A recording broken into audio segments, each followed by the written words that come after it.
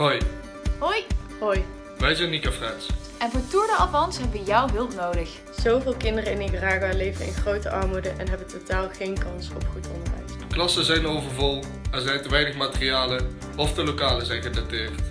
De huidige politieke situatie helpt ook niet echt. Wij willen ze daarom ontzettend graag helpen. Want zonder onderwijs komen we zelf toch ook nergens? Help je ons mee hun een beter vooruitzicht op hun leven te geven? Stem dan de komende weken ook op Nika Friends. En help ons. Thanks.